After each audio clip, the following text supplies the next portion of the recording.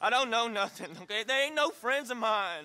I just been ridden with them for a while. Horseshit. You see, we heard that part, so how about you tell the truth? That's what you want me to do? Hurt him, so the next time he opens his mouth, it is to tell us what is going on. Ah, who am I kidding? One of O'Driscoll's boys couldn't open his mouth, but he'd tell a lie. Screw it. Let's just have some fun. Geld him. Yeah! What's he doing? Where's he going? Oh, don't worry. You're only balls, boy. Just gonna cause you trouble.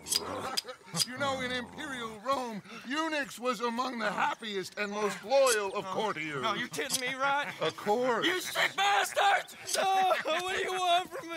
Well, you are gonna talk. The only question is now or after we got these little fellas off. Okay, okay, listen. I know where O'Driscoll was holed up,